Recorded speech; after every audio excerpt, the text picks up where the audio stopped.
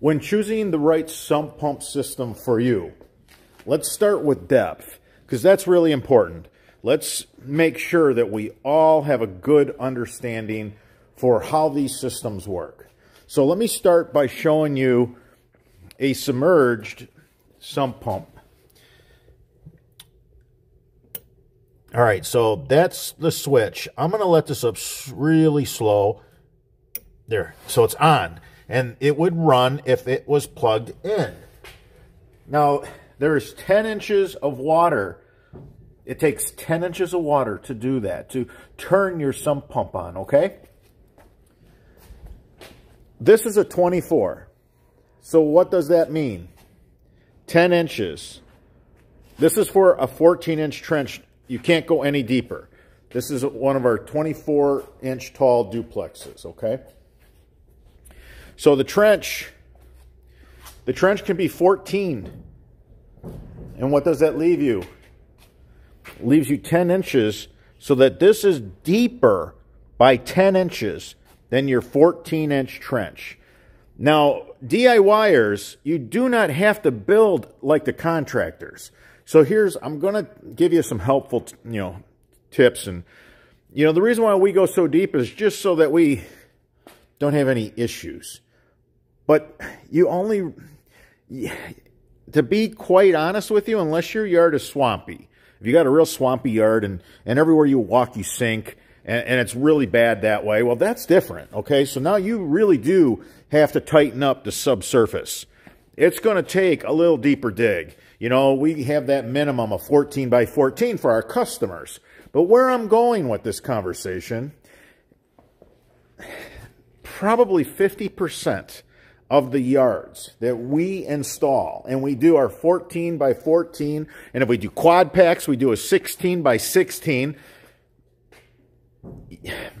If you don't have a real swampy yard, and it's just bad for a few months out of the year, you only need to dig 11, 12 inches, meaning this could be a, a full foot deeper than your trench. So your water is going to fall into the sump pit that you dig for your sump pump unit, okay?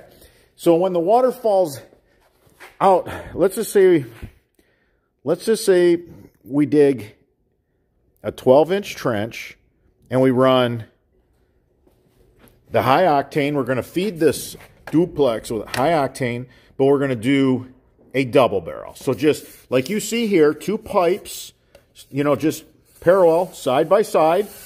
Run them in a 12-inch trench. And then have this, you know, 12 inches deeper. It's super easy to do. This is a 24. So a 12-inch trench, a 24-inch unit is ideal. We have these in full frame, which is what you see right here is a full frame bad seed. This is really cool. I love this. I mean, two half horse systems. I mean, two, basically, it's two systems in one. And when this falls behind the primary pump, the secondary pump kicks on.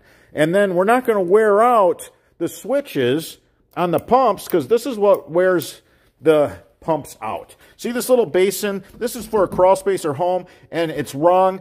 I I hope I live to see the international building codes change this because it just infuriates me. But this is what wears out sump pumps right here. That mechanism, the switch, that's what ruins. Well, let's put it to you this way. In my career of 35 years, 99 out of 100 failed sump pumps were at the switch. And they're usually too grimy, too nasty, and it is just not cost effective to rebuild it. So we have to just go purchase a new sump pump. Well, that's what drove me to build a big chambered system so that when the water rises, it takes longer to fill this long chamber. And this could be anything you want it to be. You could buy additional lengths of chamber. You can buy three feet. If you're if you're buying uh, pipe and we we're putting this on a pallet, we can stick some pretty long chamber lengths in for you and an extra coupler. So you can really make one of these pumps, and these are very expensive pumps and very, you know, good pumps. And you know what? This the interruption that the interruption to life when you end up with a flooded garage, a flooded sunroom, flooded crawl space, flooded basement, that interruption. And years and years and years ago, I had that happen to me. And it's always in the most inconvenient time in your life. You're going to have, you know, 10 balls in the air that you're juggling, and then boom, things flood. So that's why I like building a chamber where it fills up with water. It takes more gallons per cycle. So this is a cycle. When the sump pump goes down, pumps the water down, click. Now the water can rise because it shut itself off. The float comes up, click. This is five gallons in one of these little things. So all of our duplex systems, you know, they're going to take hundreds of gallons. That's the difference. So when this puppy clicks, turns on, you're getting your money's worth out of it. And one of these guys, it's going to last decades. I mean, a really good pump like this, this Zoeller. So, you know, we use the Liberties and the Zoeller. Nothing wrong with either or. You know, we offer them both just because, you know, different strokes for different folks, right? So, okay, so now we get an idea how this has to be deeper than your trench. Now, let's say I know I'm going to end up 24 inches deep on my trench. Well, then I got to go to a 36 inch duplex. So this is, this happens to be our micro bad seed in a 36 inch. It's actually our newest micro.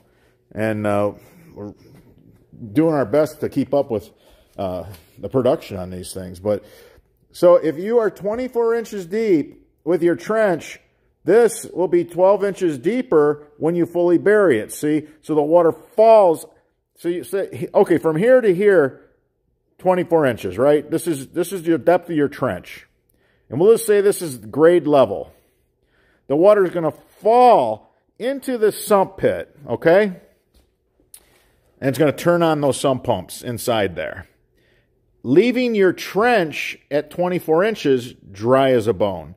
That's what you want so no tree roots fill in your trench. So when picking one of these systems out, you have to say, how deep do I need to go? Again, an easy DIY project is a double barrel, you know, in 12 inches.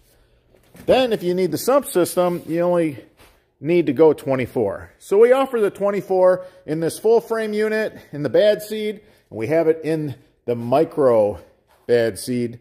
The difference is not just in size, but this one has two half horse sump pumps in it where the micro's got two one third horse, okay? And actually the micro bad seed and the mighty mini bad seed are the only two in our line that have a one third horsepower. Sometimes people don't need any more than that. You know, they have a water problem, but they're not trying to pump out you know, a, a lake, a pond, you know, something ridiculous. So everybody knows their situation. You know, if you lived in the home for for several seasons, you know pretty well what a uh, wet the wet time of the year is like, and just what you need to do to prepare yourself for that, so that you're not left in a bad way. So I hope that helped. Now, if you're going to do any indoor any indoor units, and I don't have one of the Screaming Demons here, but you want to use the Micro Screaming Demon if you're going to do an indoor duplex system.